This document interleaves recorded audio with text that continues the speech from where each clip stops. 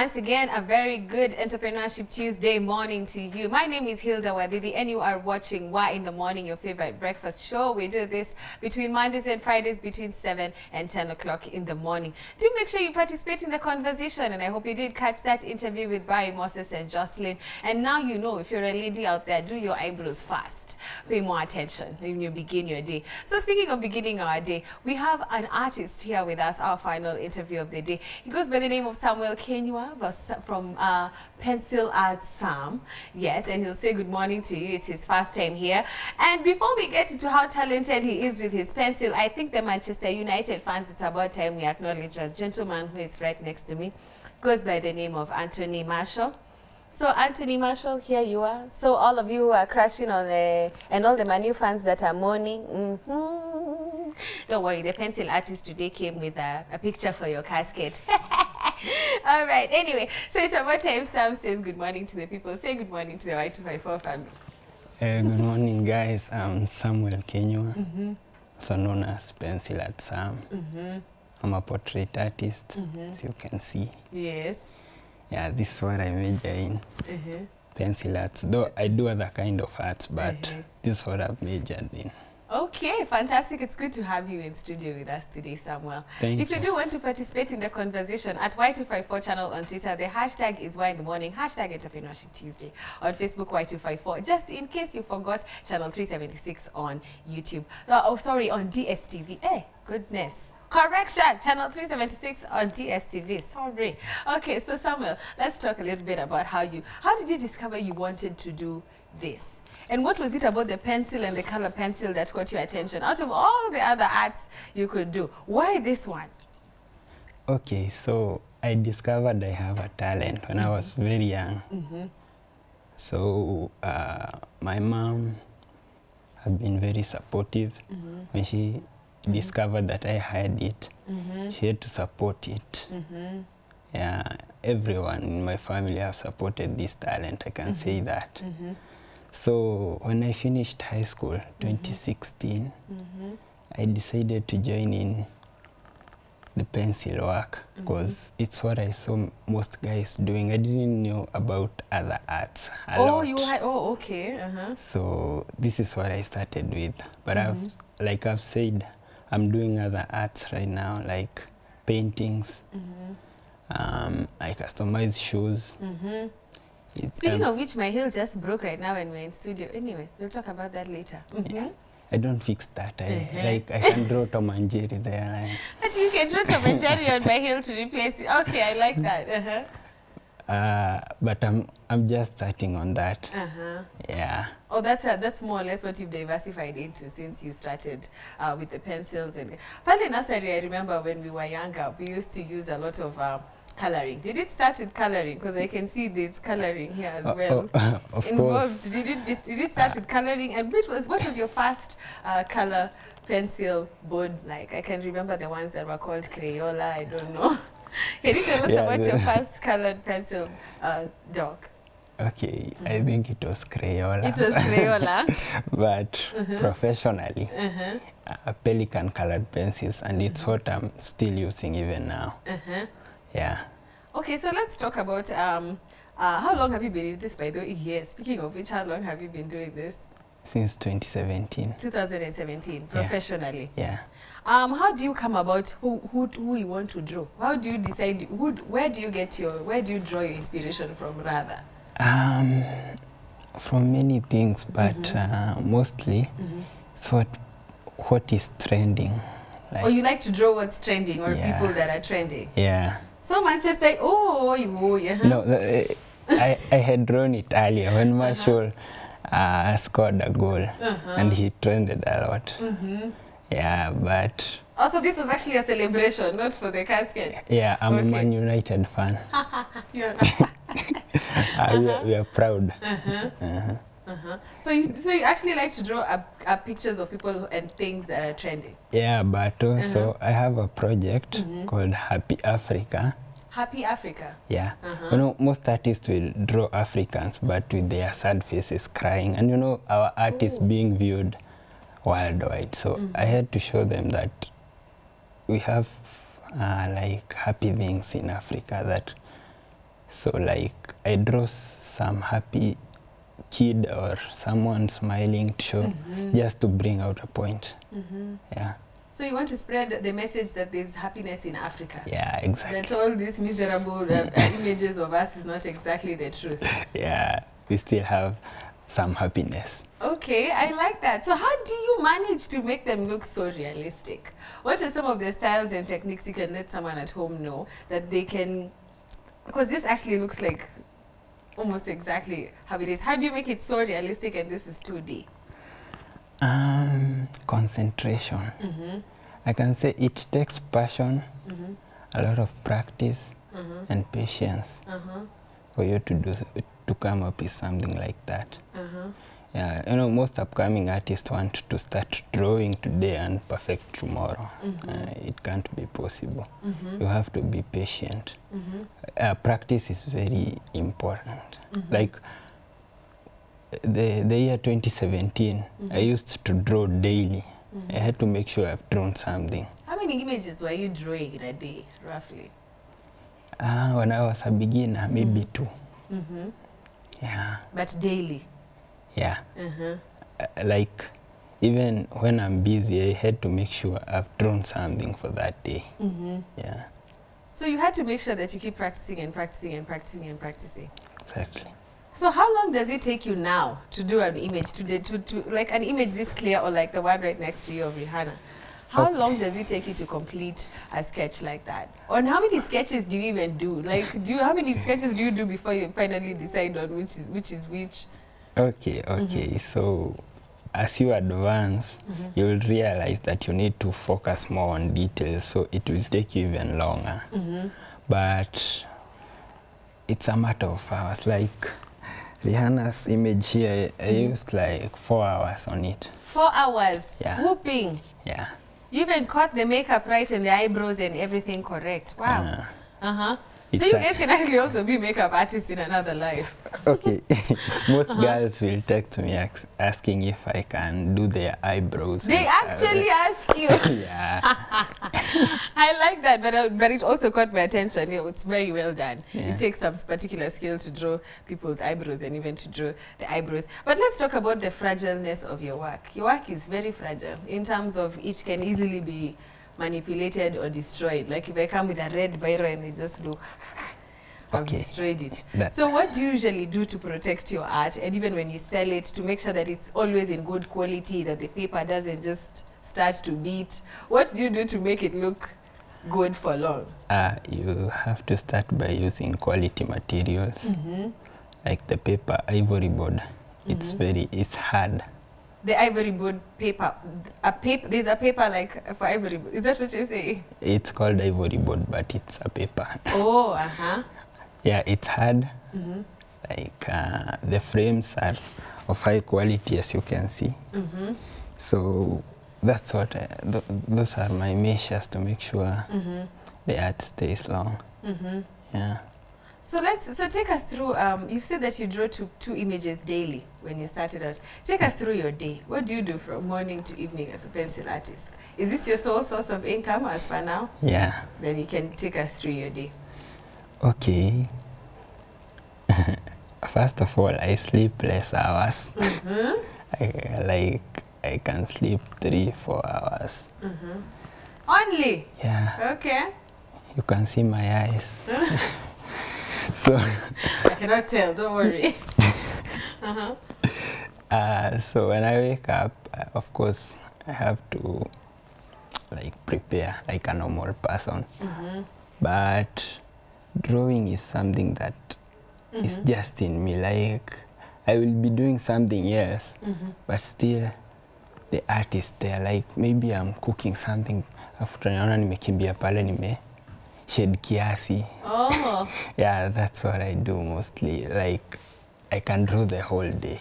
So basically, this pencil art is just an extension of you. It's Uh, just. okay, most people say I'm addicted to it. Those who know me personally, Hey, you're addicted to your business. Yeah. Aren't you lucky? cause Uh-huh. like even if there's a visitor, Mm-hmm. they can come in the house Mm-hmm. and find me, but I won't draw my attention mm-hmm. from the art totally. Mm-hmm. We can still have a conversation as I draw. Mm-hmm. Yeah. Interesting. So you basically just live, breathe art as well, as well, even as you're doing your other activities. Yeah. So let's talk about some of the works that you have done. I think we can have them on the screen now. We can have a look at Pencil Art Sam. Here's your Instagram page. So let's scroll down. Let's have a look at some of the people you've drawn. And oh, wow. I can see Burale Yeah, I, I finished that artwork yesterday. yesterday. Yeah, at around uh, 7 p.m. I can see you explore different uh, lighting. Your lighting looks different almost. You capture a lot of lighting in your sketches. Because Yeah. I can see there's Burale's picture over there. And please let us know what's the difference between the lighting I'm seeing in Burale's picture and the one I'm seeing on Joy Mudangi's. Mudangi. Okay, Jemudhengi's art Mm-hmm. Ooh, Wangari Maathai. Mm-hmm. is actually a colored art as you can see it. Yes. Uh, okay, I used pelican colored pencils, Uh-huh. but Burale's art, I used Tedlas Uh-huh. and the, the black color in pelican colored pencils. Wow. Mm-hmm.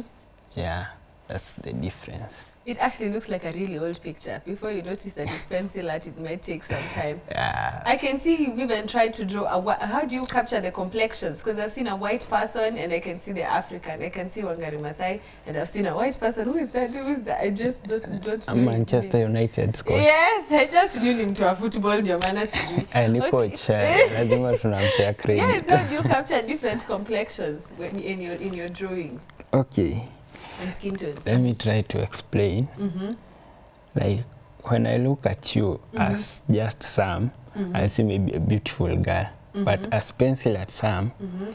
I see different shades like naweza kuangalia saina kuangalia hivi mi naona mali naweza weka brown kwenye nitaweka cream Oh.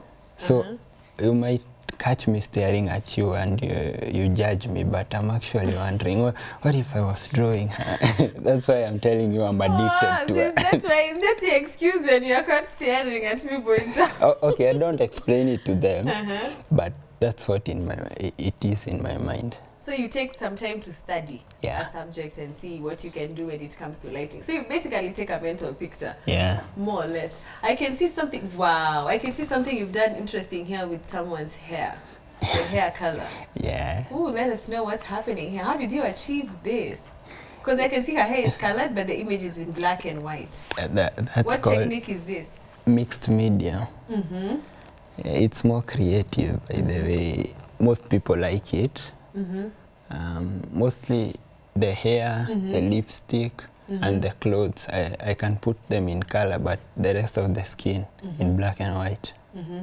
yeah So what? So what? So what message? What message does your work aim to send? What What message do you aim to send when you well, like when you've studied me and you've seen me and I'm going to draw this girl?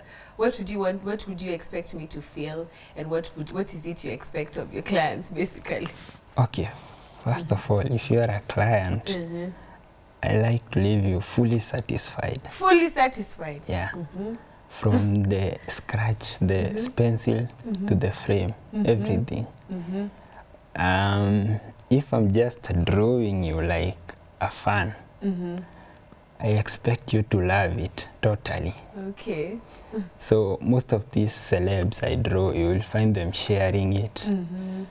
yeah, and that shows how much they appreciate it you know mm -hmm. it's not always about the money Mm-hmm.